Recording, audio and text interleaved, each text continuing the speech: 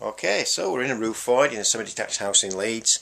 I've been called to look at some woodworm problems. Actually, um, there is no woodworm, but there is bark borer. Um, I'll just show you in these purlins here.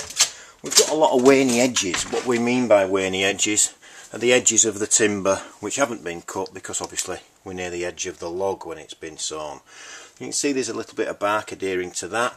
You probably won't be able to see it on the video. Um, but there are quite a number of holes some of which are in the bark some of which are actually in the um, in the wood itself. So if the bark drops off you're left with this waney edge full of woodworm holes or apparently woodworm holes they're ever so slightly bigger than a common furniture beetle hole um, but I'll just have a closer look and show you something. Okay so I'm afraid the macro's not that good on this uh, camera.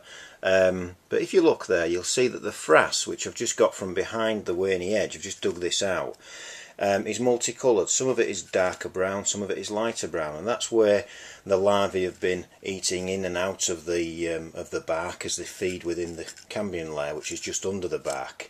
So a common feature of bark borer is A, it'll be near a waney edge or in bark. Obviously if it's in bark it's a no-brainer, but if there's just a waney edge, look for this discoloration um, and you'll see um, the variation in colour of the frass. What I'll do is I'll put a macro image of that on the blog so you can have a closer look. So as for bark borer, it's not a problem. It's merely feeding off that small layer underneath the bark and amongst the bark.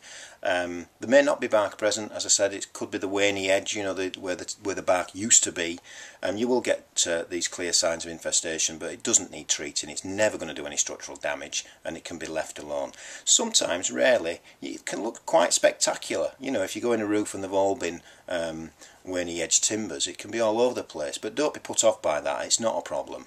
Um, However, it is an indicator that there's a lot of sapwood in the roof. So if you do see bark borer, pay special attention because it's often found with furniture beetle as well. So do have a good look and make sure there's no common furniture beetle accompanying it.